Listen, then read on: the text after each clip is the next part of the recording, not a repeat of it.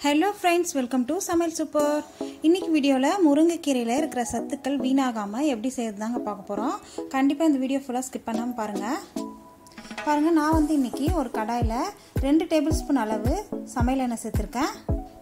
இதில் ஆறு பல் அளவு பூண்டு மூணு காய்ந்த மிளகாய் சேர்த்துட்டு நல்லா வறுத்துக்கலாங்க. எண்ணெயில் மீடியம் ஃப்ளேமில் வச்சு வறுத்துக்கோங்க.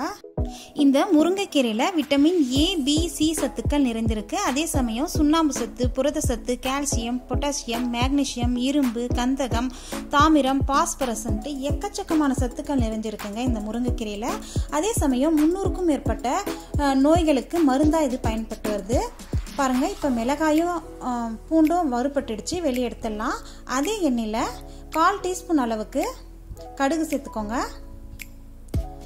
கடுகு பொரிஞ்சதும் கால் டீஸ்பூன் அளவுக்கு உளுத்தம்பருப்பு சேர்த்துடலாம்.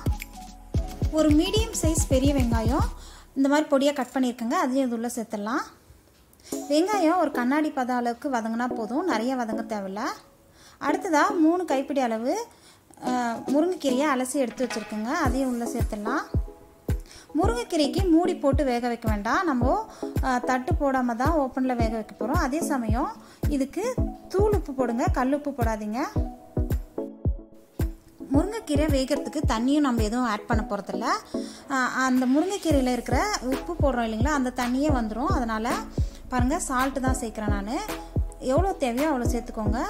உங்கள் டேஸ்ட்டுக்கு தகுந்த மாதிரி. சால்ட்டு சேர்த்துட்டு நல்லா கலந்து விட்டுக்கோங்க. இப்போ அதுவே தானாக தண்ணி விடும். ஒரு சொட்டு தண்ணி கூட நீங்கள் ஆட் பண்ணாதீங்க. முருங்கைக்கீரை ரெண்டுலேருந்து மூணு நிமிஷத்துலேயே வெந்துருங்க. இளங்கீரையாக இருந்தால் கொஞ்சம் முத்தின கீரையாக இருந்தால் ஒரு அஞ்சு நிமிஷம் ஆகும்.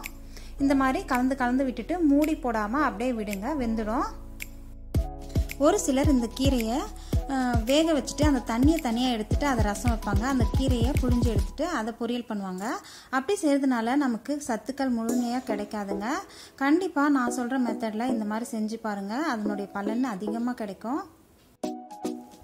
முட்டி வலி இருக்கிறவங்க தொடர்ந்து நாற்பத்தெட்டு நாட்கள் இந்த கீரையை சாப்பிட்டுட்டு வந்தால் முட்டி வலிக்கு நிவாரணம் கிடைக்குங்க. அதே சமயம் உடல் பருமன் அதிகமாக இருக்கிறவங்க உடல் எடையை குறைக்கணும்னு நினச்சா வாரத்தில் மூன்றுலேருந்து நான்கு நாட்களுக்கு இந்த கீரையை உணவோடு சேர்த்துட்டு சாப்பிட்லாம். கண்டிப்பாக அதனுடைய பலன் கிடைக்கும். இப்போது மிக்சி ஜாரில் நம்ம வறுத்து வச்சுருந்தோம் இல்லைங்களா? மூணு காய்ந்த ஆறு பல் பூண்டு சேர்த்துட்டு நான் இன்னைக்கு வந்து ஐம்பது கிராம் அளவு வேர்க்கடலையை வறுத்து எடுத்துருக்கேங்க. தோலோடு சேர்த்துக்கோங்க. அப்போ தான் அந்த தோலில் ஃபைபர் கண்டென்ட் நிறைய இருக்குது சேர்த்துட்டு இப்போது இதை குறை குறைன்னு அரைச்சிக்கலாம். பாருங்கள் இந்த மாதிரி குறை குறைன்னு அரைச்சி எடுத்துக்கோங்க. இப்போது இந்த முருங்கைக்கீரையில் நம்ம சேர்த்துட்டு கலக்க போகிறோம் இப்போ இந்த முருங்கைக்கீரையோட இந்த வேர்க்கடலையும் சேர்க்கும் போது இன்னும் சத்துக்கள் கூடுது. நமக்கு நிறைய சத்துக்கள் இதனால் கிடைக்குதுங்க. நம்ம சேனலை இப்போ தான் ஃபஸ்ட்டு முறை பார்க்குறீங்கன்னா கண்டிப்பாக வீடியோ கீழே ரெட் கலர் சப்ஸ்கிரைப் பட்டன் இருக்கு பாருங்கள் அதை கிளிக் பண்ணிக்கோங்க. பக்கத்துலேயே பெல் பட்டன் வரும். அதில் ஆளுன்ற பெல்லை கிளிக் பண்ணிக்கோங்க. அப்போ தான் நம்ம சேனலில் வர வீடியோஸ் உங்களுக்கு உடனுக்குடனே வந்து சேரும். இதுக்கு முன்னாடி நிறைய ரெசிபிஸ் போட்டிருக்கேங்க. ப்ளேலிஸ்ட்டில் போய் செக் பண்ணி பார்த்துக்கோங்க. பாருங்கள் இப்போ வேர்க்கடலையை கொஞ்சம் கொஞ்சமாக சேர்த்துட்டு கலந்து விட்டுக்கலாம். ஸ்டவ் ஆஃப் பண்ணி விட்டுருங்க. ஏன்னா அந்த சூட்லேயே நம்ம கலக்க தேவையில்லை. கொஞ்சம் ஆறுனதுக்கப்புறம் தான் கலக்கணும். இப்போது வேர்க்கடலையை கொஞ்சம் கொஞ்சமாக நம்ம கலந்து விட்டுட்டே இருக்கலாம். காய்கறிகளே எடுத்துக்கிட்டிங்கன்னா அதில் இருக்கிற சத்துக்களை நம்ம எண்ணி சொல்லிடலாங்க. அதே இந்த முருங்கைக்கீரையில் எண்ணிலடங்கா சத்துக்கள் இருக்குங்க.